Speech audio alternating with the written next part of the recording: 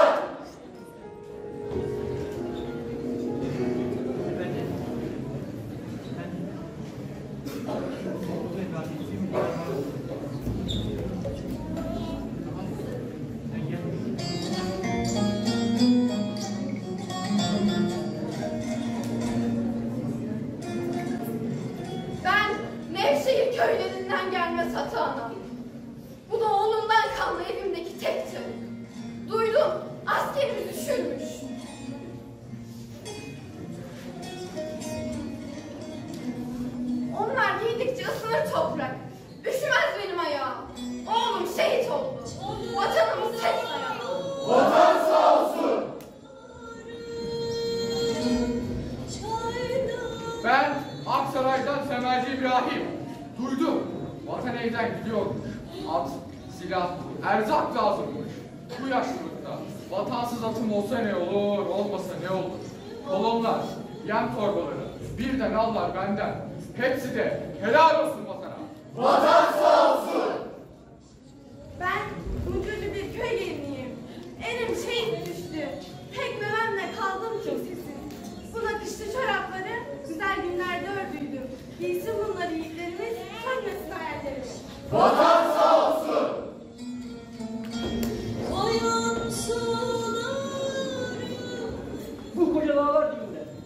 başbakanlık yapan kara vekiller.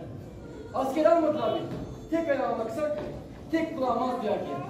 Ama canım feda edilir. Katlanırım her derde çileye. Bu bulgur ve mercimek son azındır. Hepsine helal olsun. Vatan sağ olsun.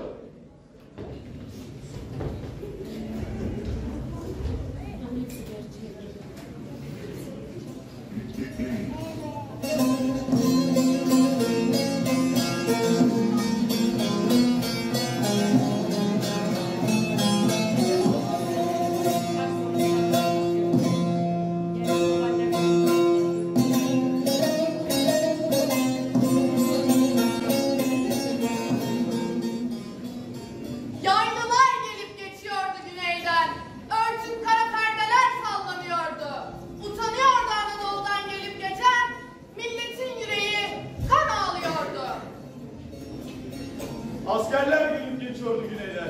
Yaralı, hasta, yorgun askerler. Akşam olmuştu. Yurda toplanıyordu. Sağ kalan yiğitler girerdi. Analar haber soruyordu güneyden. Tarlalar kadar, durmaklar kadar durgun alalar. Örtü kara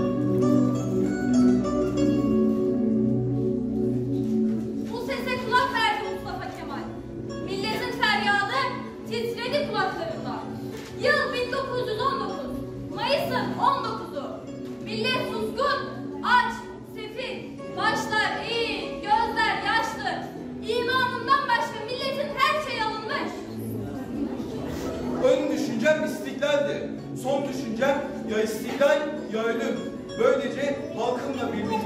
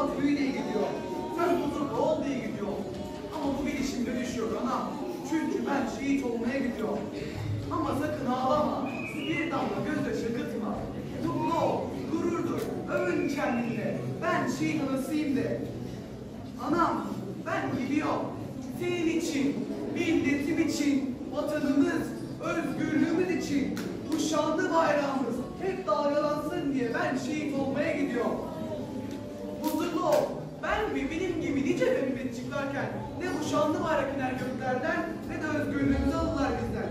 Çünkü ben şehit olmaya gidiyorum. Anam, söyle bacıma, kardeşime, huzurlu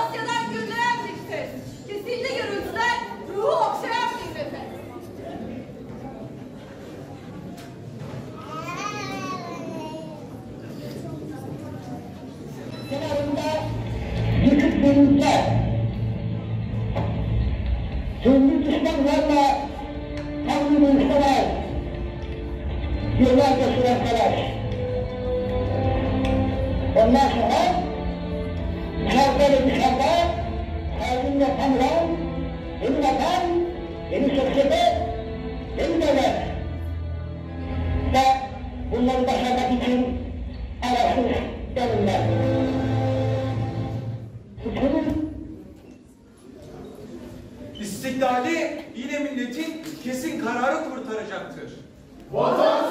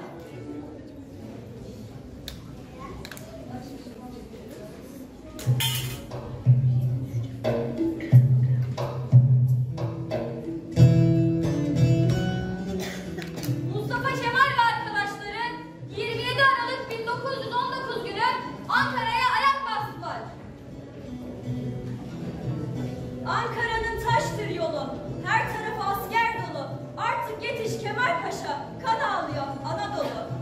İstanbul'un işgali Mustafa Kemal tarafından şöyle protesto edildi. Ona göre bu işgal 20. yüzyıl insanlık ve medeniyet, medeniyet temel prensiplerine indirilmiş büyük bir yumruktur. Bu toprak bizim yurdumuzdur. Deli gönül yücesine çıkar, bir üvey kolu uçar gider. Ardahan'dan Edirne'ye, Edirne'den Ardahan'a kadar.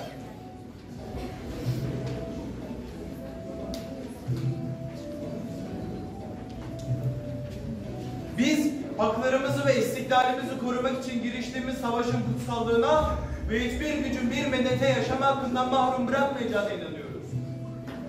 23 Nisan 1920 Türkiye Büyük Millet Meclisi açıldı. Bahar çiçekleri Italia, Satalia.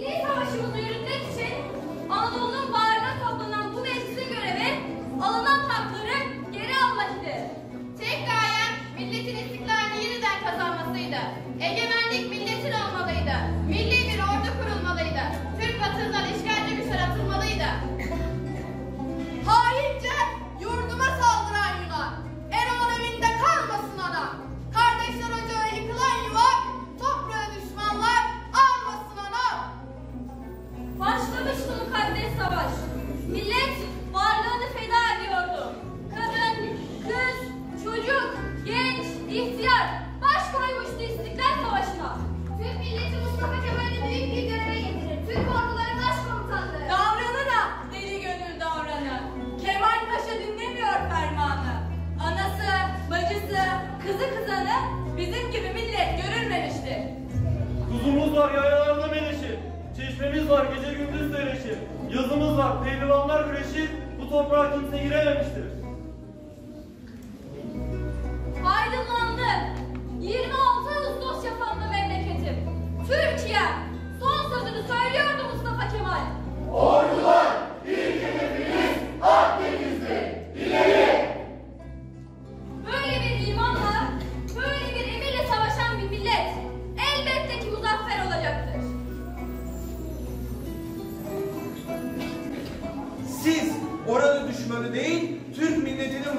aileni yendiniz.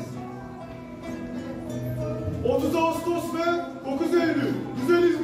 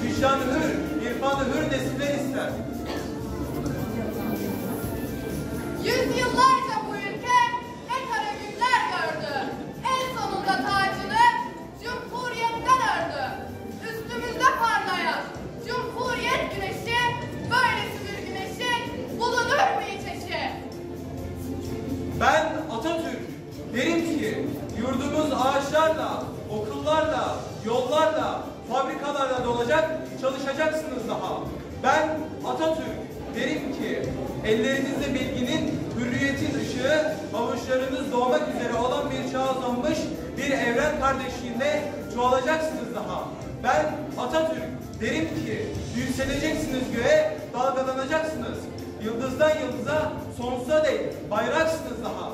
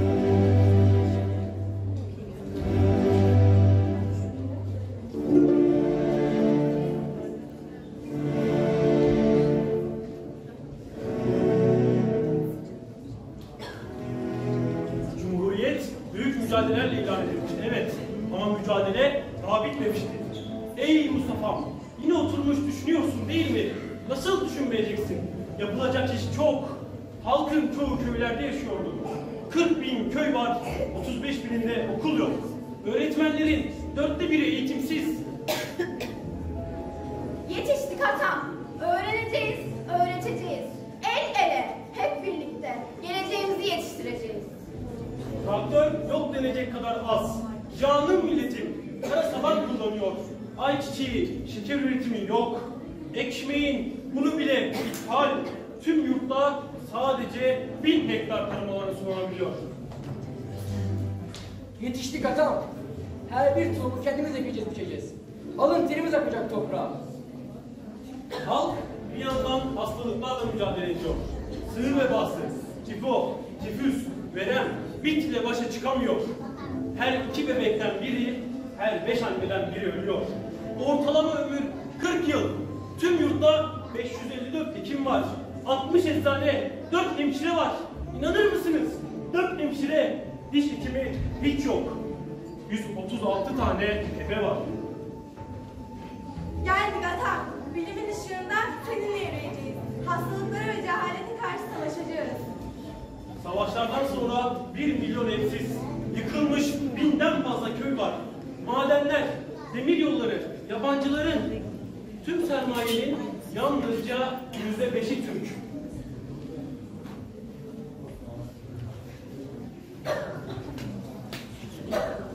Dükkan, postane yok. Sanayi adı verilen 280 tane iş yeri var. Çoğu yerde elektrik yok. Yok, yok, yok. Cepte para yok. iş yok.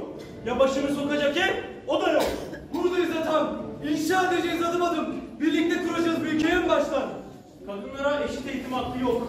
Meslek edinme hakları yok. Velayet, miras hakları yok. Kadının seçme seçilme hakkı yok. Kadının adı yok. Artık var atam. Ben çalışan, ben üreten. Ben ana, ben kadın. Yarınlar için buradayız. Erkeklerin yüzde yedisi okuma yazma bilmiyor. Kadınların ise yüzde dördü. İbrahim Müteferrika'dan bu yana yurdumda basılan kitap sayısı birkaç bin geçmemiş. Aynı zamanda Avrupa'da iki buçuk milyon kitap yazılmış ve 5 milyon adet satılmış. Atam savaştın, halkla yan yana. Kurtardın bu vatanı. Yetmedi yazdın. Biz de yazacağız. Okuyacak bu halk. İşte durum bu. Daha birçok eksik, birçok noksan var. Oturmuş çalışıyor Atam. Mustafa Kemal'im. Çocukluğundan beri ona kararlılık. Sadece kurtarmak yetmez vatanı. Halka hak ettiği özgürlüğü vererek çok çalışmak lazım. Çok. Yalnız olmaz. Herkes koyacak elini taşın altına. Birlikte yürünecek bir yol. Birlikte inşa edilecek adım adım. En çok da gençleri isteyecek. Ben yoktum sen yaşarken. Gözlerini görmedim ama her zaman üzerimizde olduğunu bilirim. Bizler yok olacağız zamanla. Sen duracaksın. Biz soluyacağız. Sen yaşayacaksın. Çünkü sen anlarda değil, zamanlardasın. Dikenler serecekler yolumuza. Açlıklar, gözyaşı, kanlar. Biz karşı duracağız. Sen yeneceksin. Çünkü iliklerimizdesin. Çünkü bu topraklar sensin. Atam, sen demiştin ya, benim naciz vücudum elbet bir gün toprak olacak ama Türkiye Cumhuriyeti ilelebet payidar kalacaktır diye. Bu sözünle sen hep bizi cumhuriyet, cumhuriyetle yaşatacaksın. Çünkü sen bir beden değil, bir düşüncesin. Bir doğma değil, bir fikirsin. Bir geçmiş değil, geleceği yaşatan gerçeksin. Çünkü sen ya istiklal ya ölüm diye başlattın bu destanı. Ya istiklal ya ölüm. Şerefimiz var, yurdun toprağında, taşında, dik cumhuriyetimiz var.